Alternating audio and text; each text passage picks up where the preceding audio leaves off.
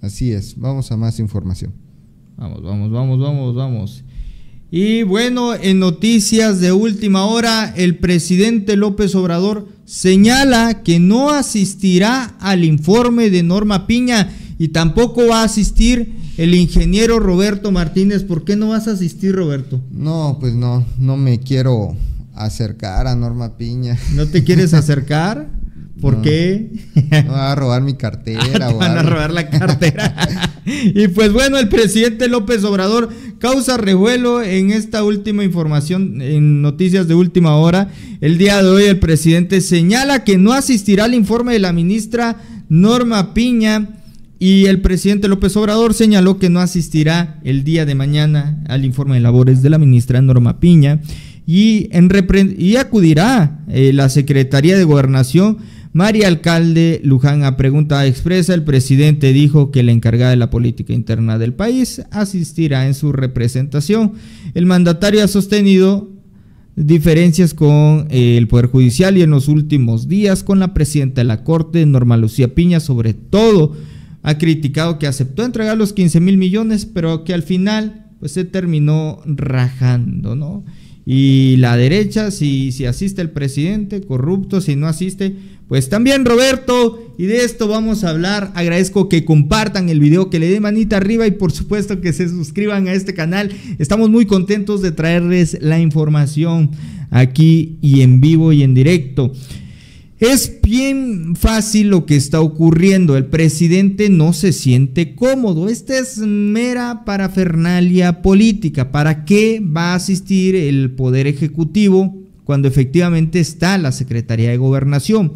Y ojo, no quiere decir que el presidente no pueda asistir o no deba asistir. E, es que hay una coyuntura especial que se está formando entre el Ejecutivo y el Legislativo. La tensión de, entre estos dos poderes es más que evidente al paso de las semanas. Hay que decirlo, Norma Piña eh, tiene, mantiene secuestrado, no hay otra manera de decirlo que lo describa de la siguiente manera, pero ha secuestrado la Suprema Corte de Justicia de la Nación. ¿Y qué dice el presidente? Son unos hipócritas, porque de buena manera vemos a Norma Piña que mantiene las prácticas pianistas, dice el presidente. Dicen que ustedes no necesitan los 15 mil millones. Bueno, adelante Dónenlo a la gente más necesitada para que se les entregue en seres domésticos, para que apoyen al pueblo y que cambie la percepción que tiene el pueblo hacia ustedes. Porque si bien ustedes pueden argumentar que darle el dinero no es legal, pero sí es una cuestión de moral y de principios. Y pues resulta que la Spotisec se amparó de inmediato estos fideicomisos, estos, estos fideicomisos que equivalen a 15 mil millones de pesos, imagínense. Ahora entendemos, Roberto, por qué querían el poder estos cínicos. Ahora entendemos por qué eh, ellos estaban en contra de la transformación. Claro, y pues bueno, vemos esta situación que se da. Eh, para nada es de sorprendernos porque en primer lugar el presidente no, no es hipócrita, es pública esta diferencia que mantiene con la Suprema Corte de Justicia y no es porque simplemente el presidente quiera imponer sus órdenes a este poder que es este autónomo, el poder judicial, sino que vemos cómo ellos han estado al servicio, en este caso Norma Piña, de los delincuentes más grandes del país, de todos los corruptos que, que han sido a lo largo de estos últimos sexenios, donde Norma Piña les otorga su libertad, les otorga amparos para que no sean detenidos, donde Norma Piña les libera sus casas, descongela cuentas. Bueno, en fin, eh, ellos están al servicio de quien pueda pagar sus, sus honorarios. Y pues bueno, vemos que ellos, ellos abiertamente eh, declaran o demuestran que cualquier persona que haya cometido un acto de corrupción, pues ellos lo pueden liberar. Ahí está Norma Piña, eh, que puede otorgarle estos servicios. Entonces el presidente sabe toda esta situación, su eje principal del presidente ha sido combatir la corrupción y vemos un poder judicial que le sabotea eh, toda esta situación, pues obviamente el presidente para nada va a estar contento. Entonces si, si tú tienes una diferencia con una persona y pues ella te invita a su fiesta, pues obviamente no vas a ir. Entonces este es el caso eh, del presidente que no es hipócrita y pues no va. Entonces por otra parte, también vemos el presidente que no se presta a este tipo de situaciones donde él podría quedar expuesto a que personajes del preanato eh, le lleguen a hacer frente y le digan algo que sea este, mediáticamente eh, desfavorable. Entonces vemos que el presidente nunca se ha prestado a este tipo de situación, sabe su lugar, su lugar se da a respetar. Y, qué mejor razón o qué mejor este, situación de, de, no ir, ¿para qué me expongo a que me falten el respeto y pues yo quede callado porque no me voy a rebajar? Entonces vemos cómo a la derecha eh, está esperando cualquier distracción, cualquier situación donde pueda encarar supuestamente el presidente, quien más que nada encarar es llamar la atención y ellos eh, generar eh, un beneficio político, ¿no? Sí, es un bloque de contención permanente que se ha formado entre estos dos poderes. Efectivamente, lo que menciona el ingeniero aquí es muy importante, porque no es la primera vez que lo intentan hacer.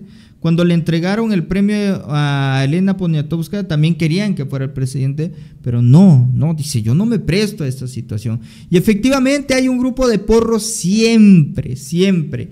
Y no es que el presidente no pueda asistir o que digan, ah, es que el presidente tiene miedo. No, el presidente no tiene miedo, simplemente que con cobardes de esta magnitud no se, no se junta. Su lugar del presidente está con el pueblo. Antes tenían el aparato de 10 mil, 10 mil elementos de la Sedena que estaban resguardando al presidente, el Estado Mayor Presidencial. Y eso lo quita el presidente. Vámonos se sentían estrellas de rock, ni que fueran, eh, ni Obama tenía ese equipo de seguridad, imagínate, para que veas cómo estaban ensimismados estos personajes. El comentario que hace la derecha también es lascivo con respecto al presidente de la República. Los, los agravios son renuentes en un estado donde impera la libertad de opinar. Esa es la verdad. Esa es la realidad. Es un tema de calidad moral. O sea, si Norma Piña decide no entregar, está bien, sino que la moral del presidente dice, no me junto con hipócritas, con la derecha no me rodeo ni a la esquina. Capaz le roban la cartera al presidente o le vuelan el yeta por ahí, ¿no? Ya que están tan, son tan codiciosos que no les queda nada que podrían llevarse el yeta. Entonces dice el presidente, no me arriesgo es, es algo innecesario, pero obviamente el gobierno estará representado por Luisa María Alcalde. Y ya, fin, tan tan del asunto. ¿Para qué? Bueno, si no hay respeto entre Norma Piña y el Ejecutivo, ¿para qué? ¿Para qué si Norma Piña no respeta al presidente, no respeta a la nación y aparte son unos mentirosos hipócritas? Que conste, ¿eh? porque la derecha se ufana siempre de, yo ayudé. El presidente que decía, no dejan ayudar allá en Acapulco, no era ese el reclamo. Y el presidente les da la oportunidad. Vayan y donen ustedes de los 15 mil millones que se quieren robar. Híjole, ahí sí no les gustó. Pues es que el presidente está militarizando a Acapulco y por eso no puede ayudar la derecha conservadora. Pues resulta que ahí está, se las puso en bandeja de plata y dicen, no, pues siempre no. Y Laina Spotisek respondió por Norma Piña. Así que a qué va el presidente, digo yo. Sí, más que nada también, este, como bien lo dices, a qué va. Va a perder eh, nada más su tiempo porque este tema se trata de un informe de Norma Piña y pues yo me pregunto, pues, ¿qué, qué va a informar? La verdad no tiene un resultado que digas que se le aplaude o algo así lo que ella va a hacer pues prácticamente es un show. O sea, ellos no, no han tenido eh, llenadera a lo largo de estos últimos años y pues ¿qué, va, qué va a reportar? ¿Qué informe va a dar?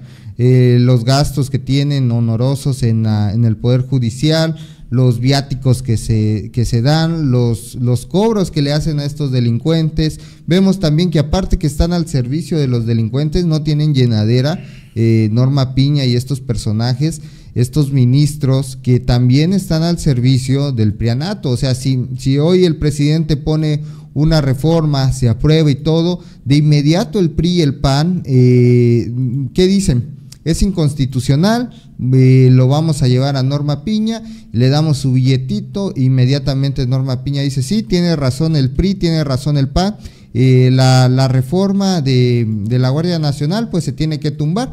¿Por qué? Porque ya no los ordenaron los del PRI y el PAN, ¿no? Entonces vemos esta situación, no tiene nada que informar definitivamente Norma Piña y pues bueno, vemos que ellos eh, se dicen ser muy, muy del lado del pueblo, pero definitivamente no lo son.